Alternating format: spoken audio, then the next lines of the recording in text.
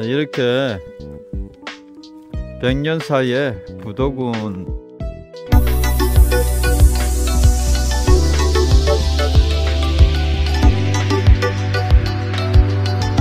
이 도로길이 굉장히 넓습니다.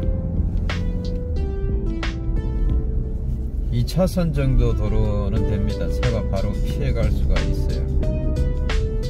근데 산으로 굉장히 많이 올라오네요 뭐 자동차로 거의 다 올라오는 거 아닌가 하는 생각이 듭니다. 이제 한 3, 400m만 더 올라가면은 자동차가 더 이상 올라갈 수가 없는 주차장인 듯 하고요. 아, 사람이 보이는 건저 앞에 처음으로 보이네요. 여기가 아마 백년사인 것 같습니다. 백년사 고려산 백년사입니다. 차... 오늘은 인천 광화 고려산에 있는 백년사를 찾아가고 있습니다. 백년사는 지금으로부터 1600년 전에 창건된 사찰입니다. 중국 동진 사람 천초 축사가 만들었다고 되어 있습니다. 한때는 8만 대장경을 이곳에 보관하였고 고려 불상 철라미탑을 자상이 보물로 지정되었었는데 여기 큰 지금은 도난을 당하였다고 느티나무들이 합니다. 있는데 이거는 한 450년 정도 됐다고 그럽니다. 수령이 450년. 저 작은 거 이거는 350년 정도 됐고요. 저기가 화장실이고 여기는 카페 같아요. 그래서 사찰은 이쪽으로 올라가는 것 같습니다. 경산로도 같이 개만해요.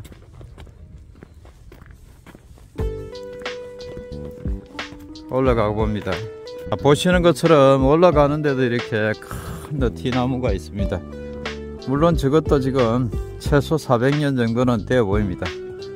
방금 전에 입구에 봤던 350년과 450년 그 정도 중간 정도의 크기의 나무입니다 차량은 이쪽으로도 올라오나 봐요 물론. 여기 보시면은 카페가 있어요. 차 드실 수 있도록.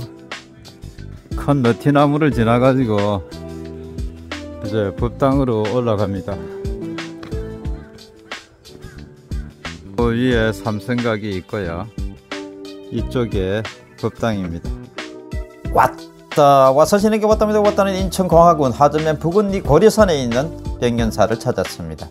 백년사는 고구려 장수왕 4년 병진년 416년에 중국 동진의 천초 축사가 오련산에 있는 오련지에 들려서 흰 연꽃이 닿은 곳에 사찰을 지은 것이 백년사입니다. 이곳에는 원래 도난은 당했지만 보물로 지정됐던 철라미타볼 자상이 있었던 곳입니다. 한때는 8만 대장경을 보관하였고 고려 불상과 부도탑이 있는 한때는 번창했던 사찰입니다. 지금부터 사찰을 쭉 둘러보도록 하겠습니다. 지금 100년 사이에 극락전으로 올라왔습니다. 극락전의 모습은 기역자 행태로 되어 있고 목조 건물로 되어 있습니다. 극락전의 뒤쪽으로는 사찰의 업무를 총괄하는 종무소가 보입니다. 2천 구조로 되어 있고 그 옆에도 요사체가 보이며 범종루가 보입니다. 지금부터 이쪽입니다. 극락전 내부로 들어가 보도록 하겠습니다. 아무도 계시지는 않고요. 부처님께 예를 올리고 극락전 내부를 보고 있습니다. 삼존 불상이 보입니다. 한때 이곳에 보물로 지정된 철라미탑을 자상이 보관되었던 곳입니다. 그런데 도난을 당했다고 합니다. 아직 찾지 못한 듯 합니다. 극락전 내부를 쭉 보시고 계십니다. 네, 극락 버전 왼쪽에 이렇게 종무소가 있습니다. 여기는 사찰에 업무를 보는 곳이죠.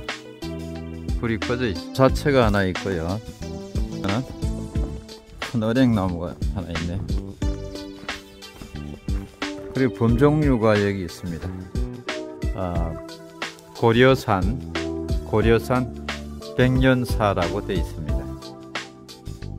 네, 범종루 바로 뒤쪽에는 이렇게 약수터가 있습니다.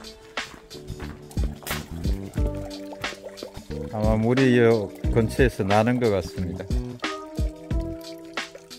근데 범정루를 지탱하고 있는 이 지주들이 너무 많아요. 14개나 돼요, 이게. 종을 지키고 있는 거. 아, 다른 데 비해서 많은 듯 합니다. 크질 않고 작아서 그러나요, 나무가?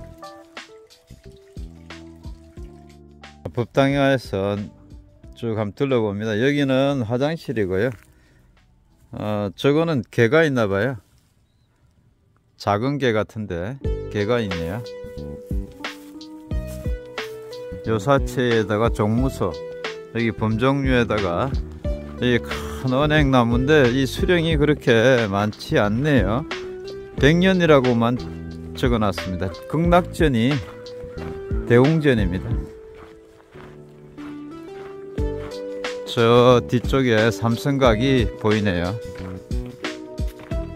한번 올라가 볼까요? 아, 저 뒤쪽으로는 또 장독도 보이고 삼성각과 부도 가는 길이 이제 이쪽에 있습니다. 올라가 보겠습니다. 사찰을 이렇게 쳐다보면은 백령사를 보면은 바로 저 저기 보이는 이게 고려산의 정상입니다. 손 뻗으면 닿을 듯한 그런 위치에 있는데 에, 여기가 백년사고요. 지금 이제 삼성각하고 부도 있는 쪽으로 한번 올라가 보고 있습니다. 아, 조금 올라오니까 이렇게 아, 넓은 공터가 나옵니다. 아, 여기 주차도 많이 할 수 있어요. 고려산 백년사 중흥대 공덕주라고 되어 있습니다. 등산을 할 수 있는 길인 듯 하고요. 여기가 부도가 있습니다. 여기에 부도가 있습니다. 부도가 여러 개가 있네요. 백령사의 성탑이라고 되어 있습니다. 고구려 창건 때 백년사의 성탑 세기와 비석 한 기로 탑신의 청신여 식령자 탑이라고 되어 있습니다.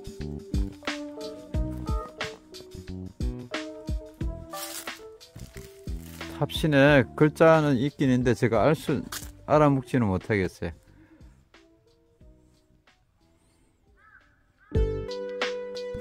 다 옛날 글자로 되어 있고 이거는 사각이에요.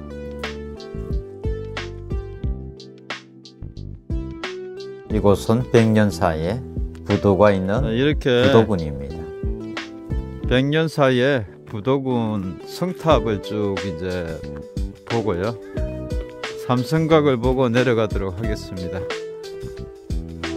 여기가 이제 삼성각입니다. 바로 부도 성탑 있는 곳 바로 옆에 여기 백년사의 가장 높은 곳에 위치하고 있고요. 아, 문은 잠겨져 있습니다. 삼성각이라고 되어 있네요. 보실 수는 있게 되어 있습니다. 근데 열리진 않네. 촛불은 켜져 있고요. 아, 낙엽인지 꽃인지 알 수가 없는 열매가 맺힌 식물이 있어서 나무예요. 나무 형태로 되어 있는데 독특하네. 오늘은 인천 강화군 하전면 부건리 고려산에 있는 백년사를 찾았습니다. 백년사는 지금으로부터 약 1600년 전에 지어진 사찰입니다.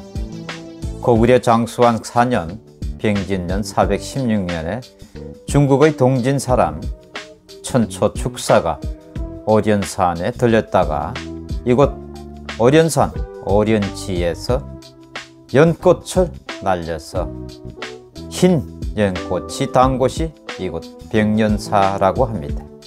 이곳에 사찰을 만든 것이 시초라고 합니다. 이곳에는 원래 팔만 대장경과 고려 불상, 철라미타 불 자상이 있었는데 도난당하였다 합니다. 백년 사이에 어둠이 내렸습니다. 끝까지 시청해 주셔서 고맙습니다.